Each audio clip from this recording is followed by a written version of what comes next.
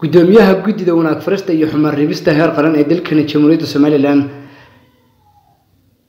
sheekh muuse jaamac cabdi iyo sidoo kale xubno ka tirsan guddida wanaag farista iyo xumaan reebista uu weheliyo gudoomiyaha guddida wanaag farista iyo xumaan reebista ee gobolka saaxil ayaa mana subaxdii hore ee saaka soo gaadhay degmada sheekha waxaanay kulan kula qaateen howlka dowladda hoose ee degmada sheekh bulshada qeybaheeda kala duwan oo kulankaasi ka soo qeyb galay waxaana kulanka sidoo kale bulshada kala soo qeyb galay maamulka degmada sheekh ugu horeeyo gudoomiye ku-xigeenka degmada sheekh mudane maxamed faarax axmed iyo sidoo kale gudoomiyaha wasaaradda waxbarashada iyo sayniska.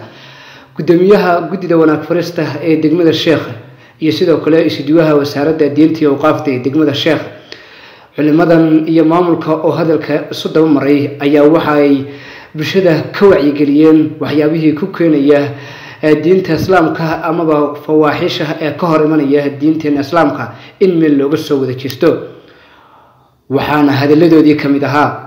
Waxaa loo baahan yahay inaynu arrimaha diinta kor u qaadno xafiiskaasna aynu ka faa'iidaysano wixii ummadda dhib ku haya maxaa yeelay ka qabanno. Arrinka aynu haynana ilaahay wuu inagu ammaanay. Kuntum khayra ummati ukhrijat linnaas ta'muruuna bilmacruuf watanhuuna cani munkar. Marka waxa weeyaan haddaynu ummaddii nebi maxamed nahay waxaa la doonayaa in arrimaha khayrka aynu ka shaqayno waynu liibaanaynaa aakhiriya ifkaba. Yaal ilaahay subxaana wa tacaala iskugu kan keenay goobtan ama meeshan iyada ah iyadoo aynu u kulannay wax loo kulmo wixii ugu weynaa ee ugu qaalisanaa oo diinteennii macaaneed ee sharafta iyo qiimaha inaga mudnayd ah. Ilaahayna subxaana wa tacaala uu qur'aanka ku yidhi laa khayra fii kasiirin min ajwaahum ilaa man amara bisadaqatin aw macruufin aw islaaxa bayna xafiiskan maanta inoo soo kordhay waa xafiis khayr qaba kolley muddona way shaqaynayeen kolley waxyaalo badan ay magaalada ka qabteen annagu markhaati baanu ka nahay. Culimmada iyo madax dhaqameedka isdiray ee isu tegey ee xafiiska abaabulay inay la shaqeyno in soo dhaweyno waayo waxa ugu khayr badan ee laga shaqeeya diinta diinta ugu wanaagsan. Marka waxaynan kale aan ka shaqeynaa maaha wax inaga soconaya waxayna anfacaya maaha aakhiradan aynu turanno aakhiradan aynu shaqaysanno xafiiskan aynu soo dhaweyno aynu lana shaqeyno waa dabayaaqadiisii hase yeeshee saddex qodobun baan ayaan taabanaya.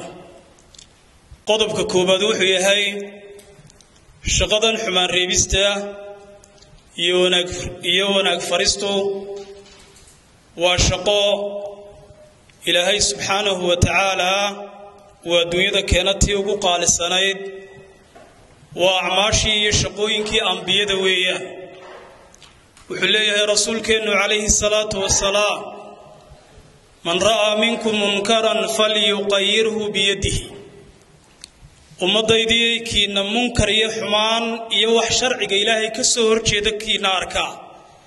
Gacantiisa ha ku bedelo fa in lam yastadic fa bilisaani. Hadduu awoodi waayo inuu gacanta ku bedelo carabkiisa ha ku bedela buu leeyahay rasuulku calayhi salaatu wasalaam fa in lam yastadic fa biqalbihi. Haddii uu awoodi waayo inuu carabka uu ka sheego xumaanta qalbigiisa ha ka naco isagu ha ka dheeraada buuhi leeyahay rasuulkeennu calayhi salaatu wasalaam. Marka munkarka munkarka la reebaya iyo xumaa iyo waxay wanaagga la farayaa saddexdaa heer bay marayaan. Waxaan shir laysugu yimaado oo golo ah waa kii ugu khayrka badnaa. Ka aynu maanta u fadhina. Goorta qof walowba ogow. Reer shiikha ogow waxaan intaa ku daraya culimmadan inoo keentay khayrka ee inoo timi way mahadsan yihiin inkastoo anigu iminkaan fikiray oo aan idhi wallaahi weydinkala raageen. Innaka oo shacabkii naga wada mas'uula. Marka qofka adiga kaa mas'uulka hadda shaqadaad qabanaysana waa inaad la marta weeyaan. Dabcan. Marka qodobkaana guddidu muddada ay shaqaynaysay wakhtiga ay shaqaynaysay sidaas ku tiirsanaanta ah ayay wax u waday. Wax dhaliila iyo wax waxa weeyaan simbirixina kama imano waa wada ogtihiin wakhtigaa dheer.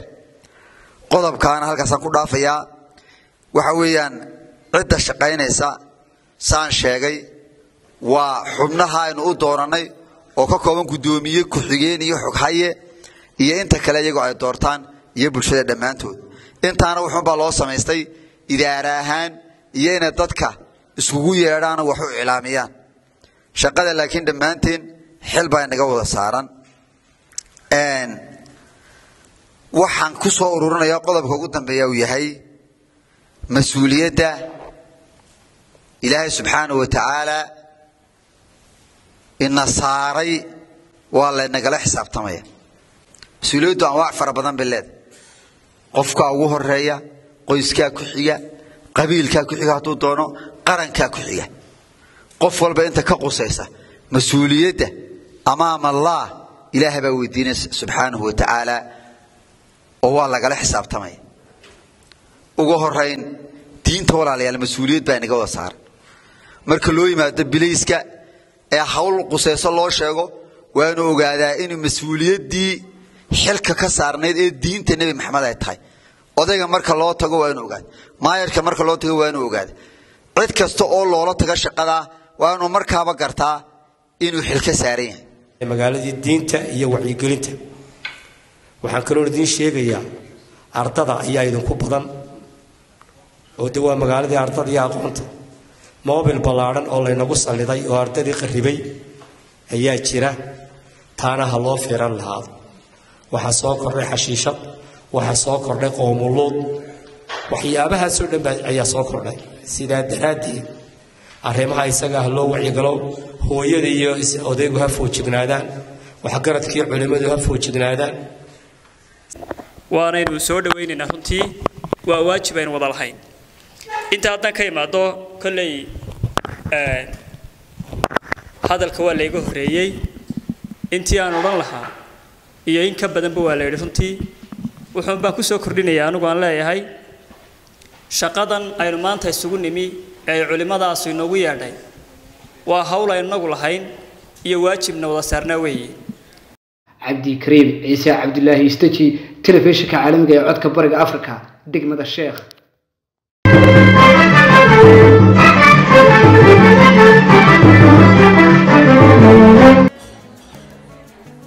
wow hoose wiilkiisu fiicay saaxiib waad ka heshay soo maa maasha allah saaxiib maxaad ku shubatay waxaan ku shubtay xidhmo furan.